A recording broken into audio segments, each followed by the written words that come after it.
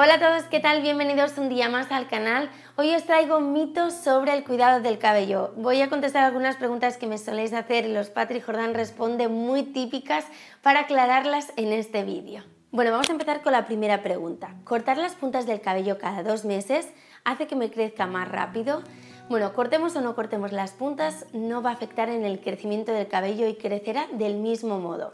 Sí que es verdad que si no las cuidamos, pues el cabello está más seco, está más débil y tiene un aspecto descuidado. Y es un error no cortarnos las puntas cuando queremos dejarlo crecer porque el cabello dañado, cuando las puntas están secas, abiertas, estropeadas, pues se rompen y perdemos el largo, aunque nos vaya creciendo pues ese centímetro o centímetro y medio al mes. Si queréis un cabello largo y bonito, cortarlas cuando sea necesario. No hace falta que sea cada dos meses, pero si las notáis secas, que están dañadas o abiertas, cortarlas porque así tendréis un cabello más bonito. Bueno, vamos a por la siguiente pregunta. ¿Dormir con el cabello mojado es malo para el crecimiento? Es malo tener el cabello húmedo durante mucho tiempo. Si tenéis poca cantidad o lo tenéis muy finito, no es tanto el problema. Pero si tenéis mucha cantidad, está largo o lo tenéis grueso, muchas veces tarda demasiado en secarse y esto no le va bien al cuero cabelludo y a la raíz, porque puede provocar escamación, irritación, picores e incluso deshidratación. Eh, os recomiendo que antes de iros a dormir os paséis el secador con una temperatura media para no dañarlo. Tercera pregunta. ¿A qué cepillar el cabello todos los días? Yo no lo recomiendo porque tenemos más posibilidades de que se rompa. Antes se decía que para tener un cabello bonito tenías que peinarlo muchas veces y esto era porque con el peine masajeamos las raíces y aceleramos la circulación sanguínea, entonces esto es beneficioso para el cabello. Pero esto lo podéis hacer directamente con la yema de los dedos. Os aconsejo hacerlo durante unos minutos por las noches, masajeando, dedicándonos un tiempo para nosotras para acelerar el crecimiento del cabello.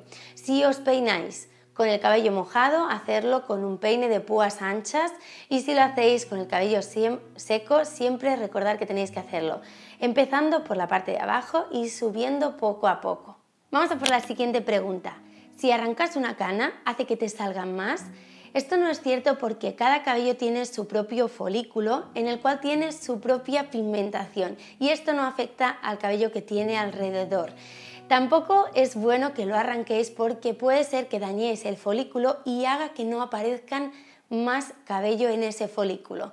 Lo ideal es que si tenéis alguna cana os tiñáis simplemente en las zonas donde las tenéis o que os esperéis a tener canas suficientes como para teñiros todo el cabello. Bueno, vamos a ver la siguiente pregunta. ¿Enjuagarse con agua fría da brillo al cabello? Bueno, esto no está científicamente probado, pero yo siempre recomiendo empezar con agua caliente para dilatar el poro y de esta forma penetre mejor el producto y eh, limpiemos en profundidad y acabar con agua fría para sellar la cutícula y aportarle brillo. Siguiente pregunta, ¿debe lavarse el cabello todos los días? Bueno, eh, en realidad no es necesario lavarlo todos los días, lo ideal sería hacerlo un día sí y un día no, pero depende mucho de la calidad y del tipo de cabello que tengamos. Si tenéis el cabello muy graso porque produce mucho sebo, sí es necesario hacerlo. Hay que tener el cabello limpio y si queréis alargar eh, los lavados, intentar hacerlo con un champú en seco. Eso sí, utilizar siempre un champú de uso frecuente y que sea suave. Bueno, vamos a ver la siguiente pregunta. ¿Hay que limpiar el cabello dos veces para que quede limpio? Yo siempre lo recomiendo. En la primera vez que lavamos el cabello cuesta un poquito más que salga espuma y eh, es para limpiar la suciedad y retirar el sebo. La segunda vez os recomiendo utilizar un champú más de tratamiento, esos champús que nos cuestan un poquito más caros, para que le dediquéis unos minutos y lo dejéis reposar para que penetre mejor. Con esto no quiero decir que utilicéis más cantidad. La primera vez utilizamos un poquito más de champú porque cuesta hacer espuma, pero la segunda con muy poquita cantidad tenéis suficiente. Siguiente pregunta, ¿tomar levadura de cerveza ayuda a tener una melena más bonita? La verdad es que sí, la levadura contiene muchos componentes que ayudan a tener el cabello más bonito, saludable y brillante. Contiene vitamina, contiene biotina y ayuda a que la melanina esté en buen estado. Si necesitáis una reparación extrema os la podéis tomar. Bueno, vamos a por la última pregunta. ¿Llevar gorros o sombreros acelera la caída del cabello? Esto no es cierto. Hay muchísima gente que piensa que si utiliza gorras o pañuelos puede eh, provocar la caída del cabello porque no respira bien, pero en realidad el cabello respira con su folículo piloso a través de la sangre.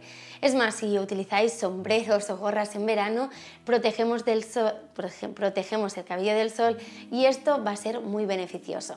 Bueno, espero que os haya gustado, que os haya sido de ayuda. Dejar vuestros comentarios y seguir dejando vuestras dudas y preguntas con el hashtag Responde para que yo pueda ir contestándolas en este tipo de vídeos. Os espero en Twitter, en Facebook, en Instagram y en la web de secretosdechicas.com. Os mando un beso grande y nos vemos en el próximo vídeo. Chao.